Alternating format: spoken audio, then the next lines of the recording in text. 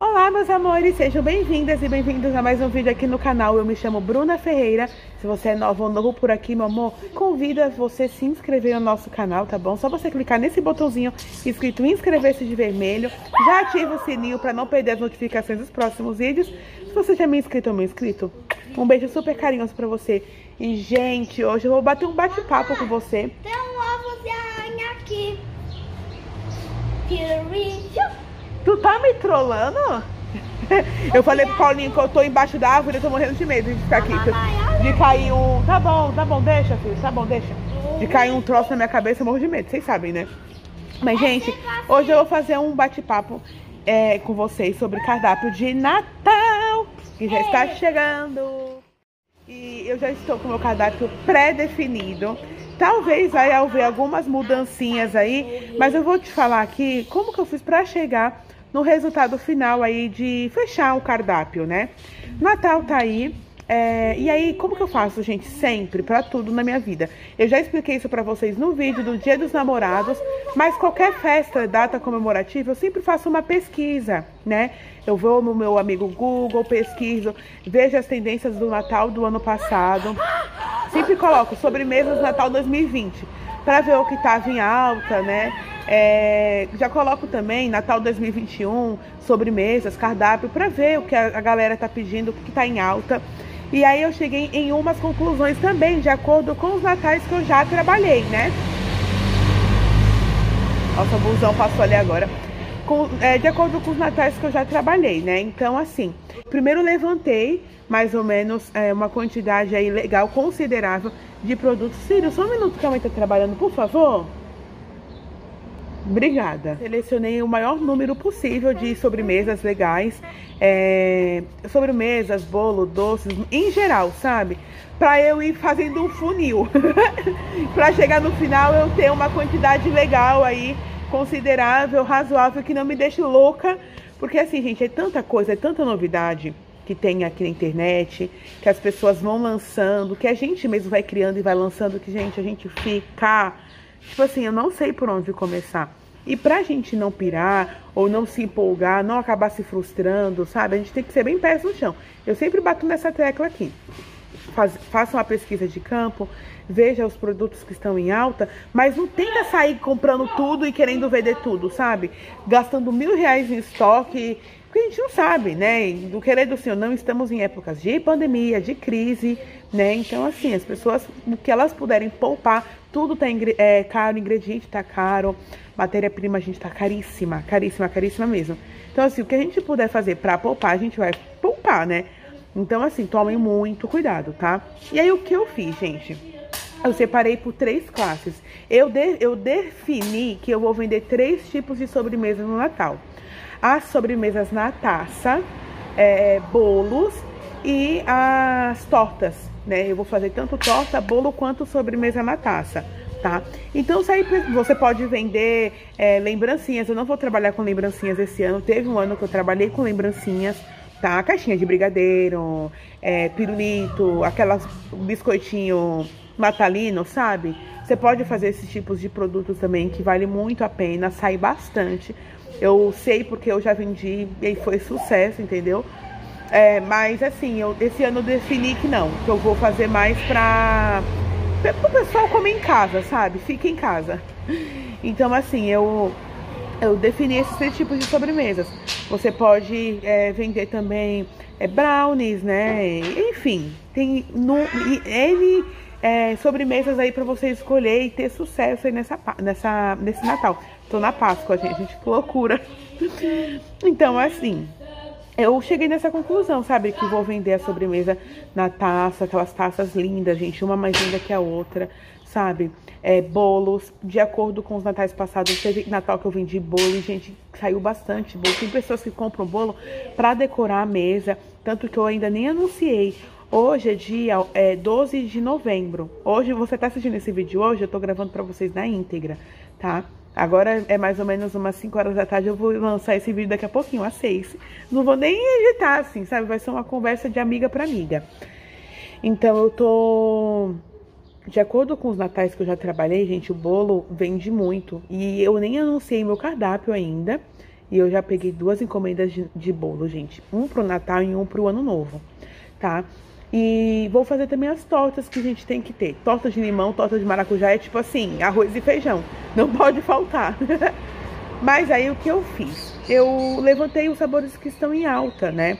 E de acordo com as minhas pesquisas, gente, pesquisas, gente, agora final de ano, sobremesas geladas, sobremesas que à base de frutas e, e nozes, sabe? Castanha, amêndoa. Vale muito a pena você investir nesses tipos de sobremesa. Só que são ingredientes caros, né? Então você também tem que tomar um pouco de cuidado. E aí, agora que eu já defini as sobremesas, eu precisei definir os sabores também, né? E aí foi aonde eu vi, de acordo com aquilo que o, a cartela de clientes que eu trabalho, eles já são acostumados a pedir, né? E. e aí eu também fui observando o que a galera tava pedindo nas redes, né? Esse é primeira, o seu primeiro Natal e você não sabe o que fazer, como fazer, o que vender, por onde começar. Hashtag Natal 2021 ou hashtag sobremesas de Natal. Pesquisa aí no teu Instagram agora, agora, tá? E aí você vai ter mais ou menos uma base daquilo que as pessoas estão procurando e estão pedindo, tá? É... E aí você faz isso, sabe? Você consegue ter mais ou menos uma, um caminho a seguir, né? E aí você pode ir usando, fazendo as misturas, né? De acordo com as pesquisas que você fez, você pode tentar criar produtos também. Só que assim, gente, se esse é o seu primeiro Natal que você vai trabalhar, eu já acho um pouco arriscado, sabe? Tenta fazer o clássico. O clássico nunca sai de moda, sabe? Uma torta de limão, uma torta de maracujá, um bombom na travessa, uma surpresa de uva, entendeu? Um pavê de sonho de valsa. Eu tô falando os produtos que eu vou vender. E aí, você chega numa conclusão, tá? Bru, mas e aí, o que, que, você vai vender, mulher? Fala pra nós. Ó, de taça, sobremesa na taça, aquelas taças de acrílico, sabe? Aqui na minha região vende, tá? R$19,00 com tampa. Só que eu consegui achar no Mercado Livre ou foi no Shopee? R$16,00 com tampa e frete grátis. Eu vou pedir pelo Shopee, porque até o Natal ainda dá tempo. Oi? Cuidado. Entendeu? Até o Natal ainda dá tempo e eu vou pedir por lá. E aí eu vou vender sobremesa mataça. É, bombom de morango, vou vender a surpresa de uva e tô pensando em fazer um pavê de sonho de valsa. De torta, torta de maracujá, torta de limão e eu tô pensando em fazer uma torta dark, sabe? Com chocolate, nozes. Tô ainda vendo ainda o sabor mais ou menos algo que seja uma coisa, um sabor mais adulto. Eu achei um besouro se de suva morto. Enfim, cuidado, não pisa que essas coisas queimam. Entendeu? E bolo. Quais bolos você vai vender, Bru? Eu quero vender um bolo de baba de, no... de moça com nozes, os floresta negra e vou vender alguma coisa também meia é, com é, abacaxi, sabe? Bolo de abacaxi com creme belga. Eu ainda vou ver direitinho. É, quais combinações aí que tem que fazer um bolo branco, sabe? É de frutas. E aí eu vou vender. Porque nós, eu, por exemplo, eu não gosto muito de nozes, avelã, castanha, entendeu? Então, assim, a gente tem que pensar em atender todos os, os, os clientes, só que ao mesmo tempo a gente não consegue agradar todo mundo, né? Então eu pensei nisso. Eu sempre trago uma fruta, eu sempre trago uma coisa mais adulta, uma coisa mais dark, assim, sabe, meio amarga. E tem pessoas que gostam. E também penso naqueles que não gostam de chocolate, né? E não gostam é, de de uma sobremesa muito doce, entendeu?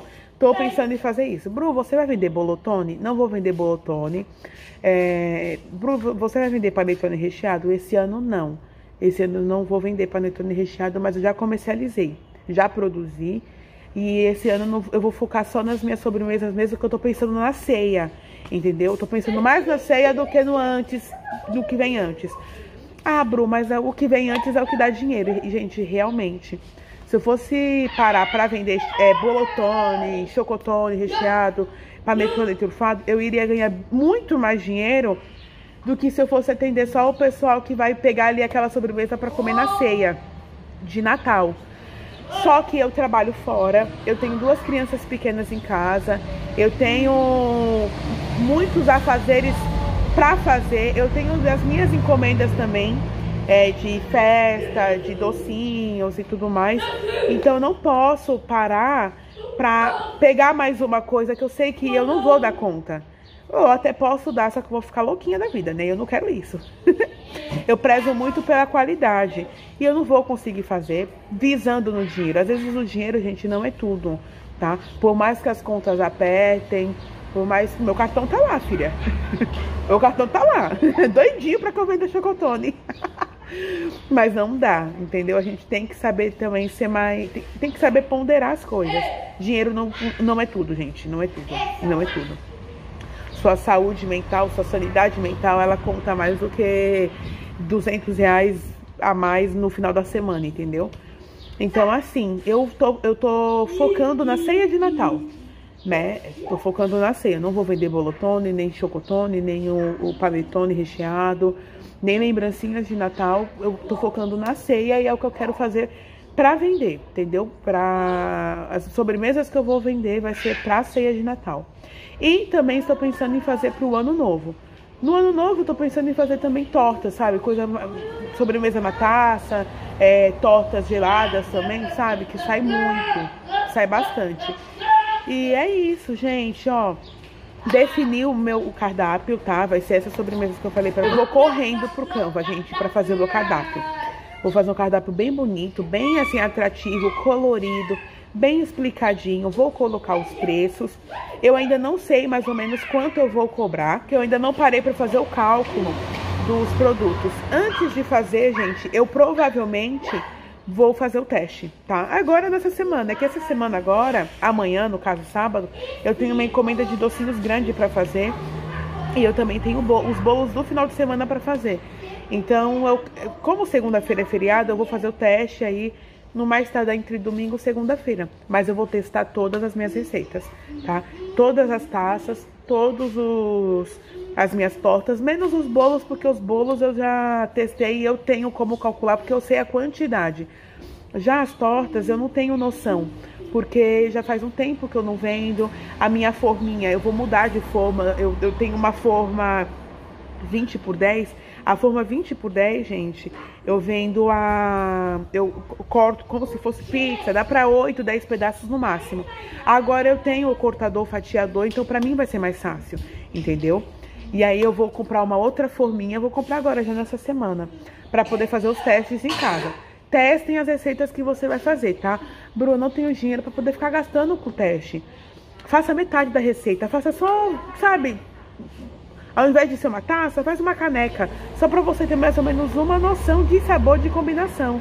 Às vezes uma combinação que parece ser extraordinária, para você no seu paladar, não fique tão gostoso, entendeu? Então assim, tome cuidado, tenha essa preocupação, sabe? De querer testar, de fazer um testezinho, de chamar uma pessoa para saber a opinião dessa pessoa, entendeu? Mas tenham, tomem esse cuidado, que eu tenho certeza que você não vai se arrepender. Então eu vou testar assim por mais que eu já tenha feito um milhão de bom. Tanto que aqui no canal tem uma receita de travessa, de bombom na travessa. Bombom de morango na travessa. Aqui no canal tem. Já fiz um milhão de vezes, eu sei como que é a combinação e tudo mais. Só que em relação a proporções, entendeu? Eu não. Eu vou ter que comprar as taças. A taça lá do que eu vou comprar agora, eu sei que essa taça é entre 5 a 8 pessoas, entendeu? Tô pretendendo vender uma taça, gente, que sirva até 10 pessoas. Ai, mas na minha casa vai ter só duas. Come, vai comendo, que dura. Entendeu? Então, tô, tô pretendendo fazer isso. Vamos lá, se, vamos ver se eu consigo achar essa taça. Se não, eu vou vender a taça apenas para 5 ou 8 pessoas no máximo, entendeu? E, gente, vai dar tudo certo. Olha, eu tô passando aqui também para te desejar um um bom início aí de temporada de vendas de Natal. Vai ser muito gostoso, tá? Você vai vender e eu também vou. e a gente vai, a gente vai garantir o nosso 13 terceiro sim. que eu preciso e você também. o desespero falando. E aí vai ser top, gente, vai ser top. Vamos colocar Deus à frente a partir de agora. Deus, eu te coloco à frente já, meu Deus das minhas vendas de Natal, das minhas vendas de final de ano, assim como eu te coloco à frente de tudo aquilo que eu fizer, meu Deus, em nome do Senhor Jesus. Eu sei que te colocando à frente, meu Pai, conduzindo as nossas vendas, conduzindo o nosso trabalho, é sucesso garantido, Senhor. E não há mal, não há é, tempo ruim, não haverá imprevistos, que vai fazer com que a gente não consiga chegar no nosso objetivo. Abençoe as nossas mãos, né? Abençoe a, a nossa fala e coloque clientes, meu Pai, abençoados na nossa vida, que a gente precisa também pedir isso para o nosso Senhor, né? Que Ele coloque pessoas abençoadas, né, na nossa vida. Clientes abençoados, clientes prósperos, que não vão ficar na nossa vida apenas no Natal e no Ano Novo, mas como no decorrer do ano de 2022 inteirinho, pedindo nossos doces, que eles gostem dos nossos produtos, né? E que dê tudo certo e assim será em nome do Senhor Jesus. Gente, esse vídeo foi mais um bate-papo, né, aqui com vocês. É, eu queria ter postado um vídeo de receita hoje, mas sabe quando Deus toca no seu coração e fala assim, vai lá conversar com elas? Entendeu? E eu, eu, eu, hoje eu passei a tarde no serviço pensando nisso. Eu vou fazer um vídeo bem bate-papo, bem cru mesmo, assim, sabe? Pra postar no canal. E eu espero muito que você tenha gostado, tá? Então vamos lá, só pra gente recapitular. Façam uma pesquisa de campo, vejam as sobremesas que estão em alta. Gente, não é vergonhoso fazer isso. Você pesquisar e saber o que está em alta, não é vergonhoso. O que é vergonhoso é você dar Ctrl C e Ctrl V. Tá lá em casa. O que é vergonhoso é você dar um Ctrl C e um Ctrl V e falar, é, e, falar mal do, do, trabalho do fulano, entendeu? Deixa o trabalho do fulano, do ciclano do Beltrano, cuida do seu trabalho direitinho, tá? Faça uma pesquisa de campo sim, veja o que está em alta, tenta aplicar isso na sua vida. Se você não conseguir, nossa, Bruna, uma, um bombom de morango fica muito caro para eu produzir, mas eu queria tanto vender esse ano, sabe? Lembrancinha, caixinhas de brigadeiro, bombons, é, bonitinho, sabe, embaladinho, você imprime. Em uma folha de sulfite você consegue imprimir umas 30 tags. Feliz Natal e um próspero ano novo. Beijos. Co recorta bonitinho. Com um grampeador você clack, entendeu? Nossa, fica lindo, fica perfeito. Lembrancinha mesmo. Você pode vender a dois reais, dois cinquenta. Às vezes você consegue tirar seu lucro na, no, na quantidade, entendeu? Que você vai vender pão de mel natalino, é, bolotone, chocotone. Você pode fazer aquilo que você quiser, meu amor. Adapte a sua realidade. Se você não tem recursos para investir, tenta e quer trabalhar da mesma forma, tenta fazer o simples. Às vezes é o simples que vai consagrar e o seu início aí na nossa carreira, viu? De confeiteira. Bruna, tenho muitos recursos, graças a Deus, quero fazer coisas assim super elaboradas. Só toma um pouco de cuidado, mas vá em frente. E eu tô aqui pro que der e vier. E se eu puder te ajudar, amiga, só me chamar. Me chama aqui no YouTube, me chama lá no direct do Instagram, tá bom? Então é isso, faça uma pesquisa de campos.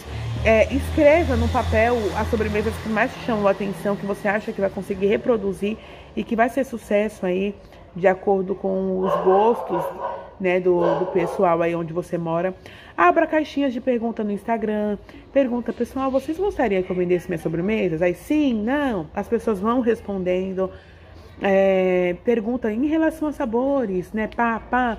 É uma forma de você conhecer um pouco seu, seus futuros clientes, entendeu? Tenha jogo de cintura, tenha paciência, não é, se sinta chateado, ocupada se algo não ocorrer da, da forma que você queria, tá? Essas coisas infelizmente acontecem para todas nós, inclusive para mim, que é, é incerto, né, gente? A gente não sabe como que vai ser. Mas vai ser sucesso. Assim eu creio, eu determino, eu profetizo em nome de Jesus. tá bom? E aí anotem e aí você faça um funil. Até quantas sobremesas eu consigo vender para não ficar louca? eu consigo vender, gente, até três sabores de cada, ou seja, nove, nove opções. Não posso passar disso. Se eu passar disso, eu já vou ficar meio assim desnorteada, entendeu? Por exemplo, vai ser bolo, vai ser torta e vai ser sobremesa na taça. Três opções de sobremesa na taça, três opções de torta e três opções de bolo. É o que eu consigo atender, entendeu? E os clientes acabam entendendo isso, tá? Então é isso, meus amores. Eu espero muito que vocês tenham entendido e gostado do conteúdo de hoje. Foi um bate-papo bem interessante e bem legal, tá? Reapliquem aí, apliquem aí no, no cardápio de vocês. É, tendo o cardápio já em mão, é, tenha mais ou menos uma noção de quanto você vai gastar para reproduzir, para você fazer também um cálculo bem preciso e honesto e justo com você e para os seus clientes, tá? E aí você É, faz um cardápio bem atrativo, bem colorido, bem chamativo. Faça um texto bem bonito. Eu vou fazer o seguinte, eu vou deixar aqui na, na descrição do vídeo o link do vídeo que eu fiz ensinando a vender no, nas redes sociais, tá? No Facebook, no Instagram, no WhatsApp, tá bom? E aí você clica nesse link que você vai ver, gente. Super facinho. Eu faço um texto bem bonitinho, posto. Não fico nessa, nessa história de inbox, preço inbox, que isso afasta os clientes, tá? E já deu tudo certo, tá? Faço um cardápio bem bonitinho, posto nas suas redes sociais. E aí, de acordo com os pedidos vão chegando, vão você vai recebendo os pedidos, aí você vai lá e vai comprar sua matéria-prima. Fora isso, você não vai gastar um real. Promete isso pra mim, tá? Toma cuidado. Mas não deixe pro para muito em cima da hora, porque sempre tem aqueles que pedem em cima da hora, né? Então assim, chegou dia 10 de dezembro, você viu que tipo assim, não tem tanta não tem tanto pedido. Mas que mesmo assim quer vender, compre um estoque razoável no qual você consiga vender alguma coisa depois, entendeu? Para você também não ficar no vermelho, tá? Então, assim, é só você ter jogo de cintura. E já deu tudo certo, meu amor, tá bom? Meu amor, espero muito que você tenha gostado do vídeo das dicas de hoje, tá? Não deixe de se inscrever, de curtir, de comentar muito, tá bom? É, compartilhe esse vídeo para os seus amigos, tá? É, quanto mais vocês interagem, o YouTube entende que o conteúdo é relevante na plataforma e faz espalhar para geral, tá? E eu vou ficando por aqui, meu amor. Que Deus abençoe a sua vida, os seus planos e os seus objetivos. Um grande beijo e até o próximo vídeo.